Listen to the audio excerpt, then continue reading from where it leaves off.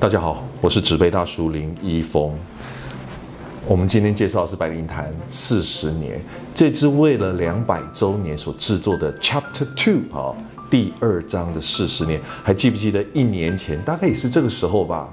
我们介绍了第一章，第一章叫 The Remembering，就是记忆。第二章是 The Waiting 啊，等待，等待威士忌熟成之后绽放出它的美味。第一章 Remembering 的主轴就是给了三家绝版酒厂的威士忌，所以第一集如果忘记了，记得回去看哦。这是第二集呢，我们要介绍的是 The Waiting，谈熟成的艺术啊。威士忌在时间当中长时间的熟成之后，到底会展现出什么样的美味？我常觉得威士忌在熟成的过程呢，有时候就像是过年的时候都会买一些荆棘树啊，刚开始会开一些小白花，偶尔会有一些那种。白纹蝶啊，会在停在那个树上面，就开始会有那种黑黑的一个小小的那毛毛虫。后来那毛毛虫就会从黑黑的一边吃叶子，开始长成绿绿的，越来越大只，越来越大只。后来在树上结蛹。我小时候最期待的事情是，当蛹变成半透明状的时候，你几乎可以看到里面有那种即将破蛹而出的蝴蝶。然后最后蝴蝶出来的时候，那是。最让人兴奋的一刻，而我每一次在等待威士忌的熟成的时候，就有那种等待着化蛹成蝶的兴奋感。今天这支，我就是要跟大家谈这个化蛹成蝶的美丽。运气很好的是，我在今天拍摄这支白灵坛四十年之前，我就已经试喝过这是四十年了，非常迷人。所以今天我非常期待它从中间所带给我所有的美好。不过在这之前呢，我先跟大家谈谈收藏品这件事情。威士忌已经成为全世界非常重要的收藏品之一，这是毋庸置疑的。你收藏什么样的东西，其实反映的是你自己。你如何收藏这件事情，其实反映出的也是你的性格。所以，虽然是威士忌，但收藏的方式以及收藏品相，包括你决定如何收藏它，以及你收藏的定义，都决定了你自己是什么样的人。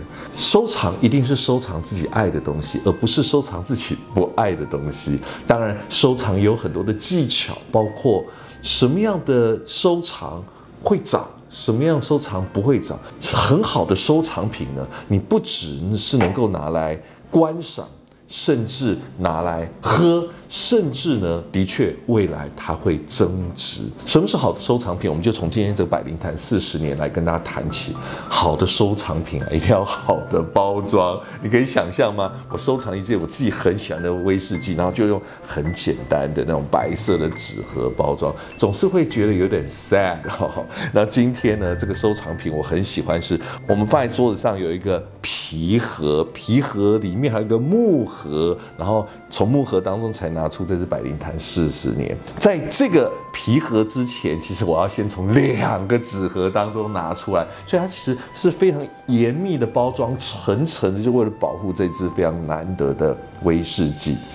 除此之外呢，包括它的。瓶身上面看它这个花纹啊，包括里面啊，我们看到这个由英国知名的折纸艺术家卡拉麦卡伦小姐所做的作品，你看它像是麦穗一样，透过层层叠叠空间的曲折呢，做出仿佛像是威士忌的原料大麦麦穗般的形状，非常的迷人哦。这支酒很清楚的标示了它的作者是谁，就是。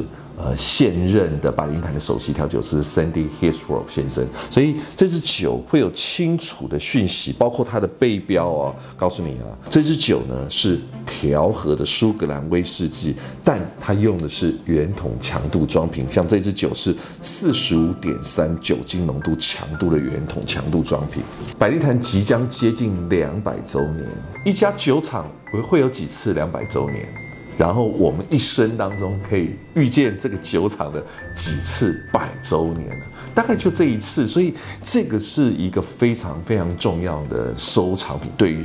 时间上来说，对于百灵坛这个品牌来说，上一次出版百灵坛四十年一般款的是二零一二年。当然，为了这次两百周年，他们总共会出五个章节，就是五个 chapter。二零二三年，去年已经出了 Chapter One 了，这是 Chapter Two，之后还会出三个，这就是一个完整的收藏系列，很清清楚楚的告诉我们，它有艺术家跟呃制酒者的互相对话，并且它。封存了属于那个时代独一无二的酒艺。它封存了什么样的酒艺呢？首席调酒师 Sandy Hissel，他的老师是 Jeff Goldie。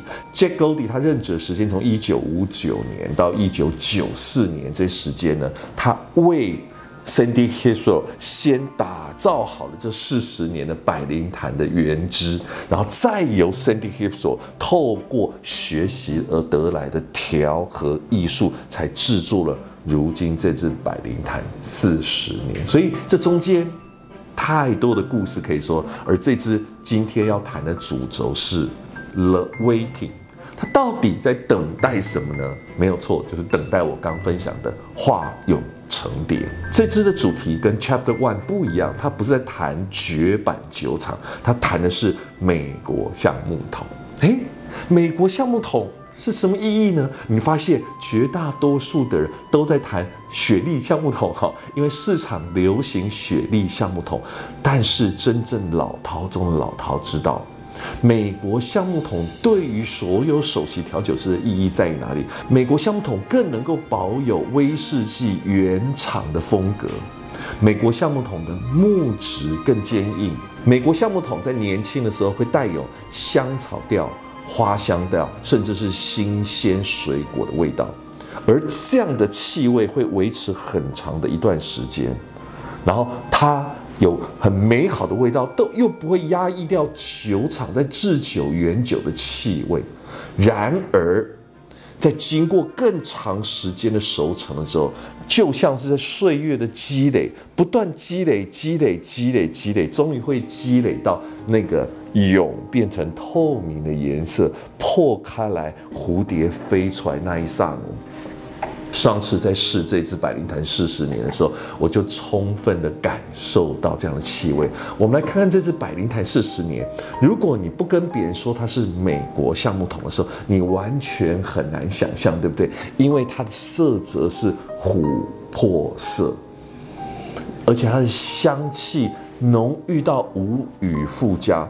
甚至有很清楚的香料气息，很美好的木质调，甚至你可以闻到它带有一些深层的葡萄干，就是所谓的果干的味道。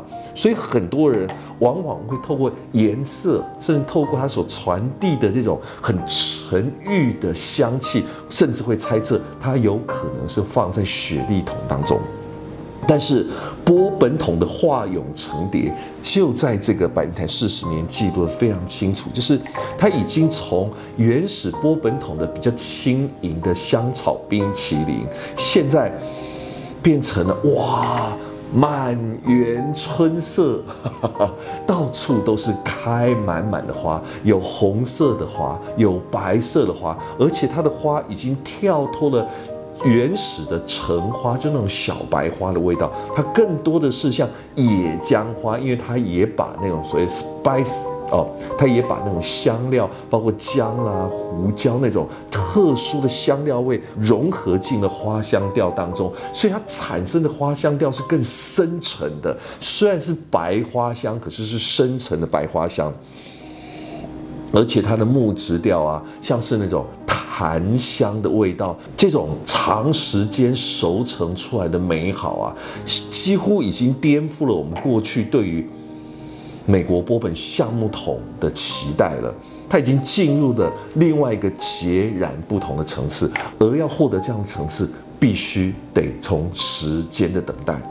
百灵坛的整个全系列几乎有百分之七十都用这样的美国橡木桶来进行熟成。所以这一支 Chapter Two The Waiting 就是在告诉大家。美国橡木桶的运用，它其实有非常多的层次的。随着时间的改变，它其实一直在变换它的美丽的四十年的美丽、三十年的美丽、二十一年美丽跟十七年的美丽。每一个年份所带给我们有关于百利滩的美丽都是不一样，而其中有七十 percent 的重点都是来自于美国波本橡木桶。喝喝看哦。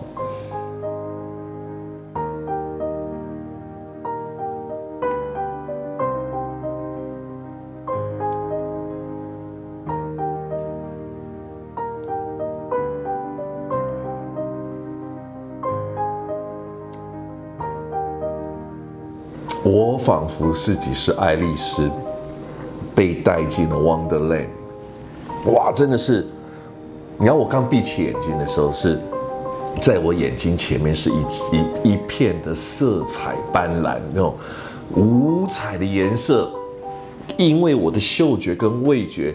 竟然带给我闭上眼睛的视觉是五彩斑斓的颜色，就是你就知道哇，这味道如此的丰富。而且我最近在写新书，特别写到花香调这件事情，对威士忌来说是非常难得的气味，因为它是属于上纯优雅、很容易易散掉的气味。而这样花香调在这支百灵台经过四十年的熟成，它仍然紧密的被包覆在其中。这就是这支酒的美丽，而这样的美丽在四十年当中是非常难得的。这支 Chapter Two 啊，The Waiting 呢，它在全球总共有一百零八支。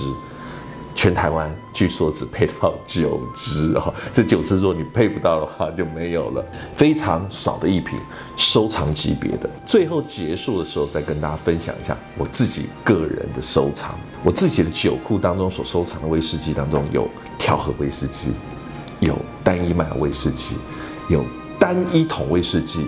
必须老实说，各种威士忌我都有收藏，而我收藏的标准是什么呢？我收藏的标准是这支酒在威士忌的历史或者时间的轴线上记录了那些我不得不认识的美丽，而对我来说，这是百灵潭四十年的 Chapter Two The Waiting 就是其中一个非常值得我收藏的标的呢。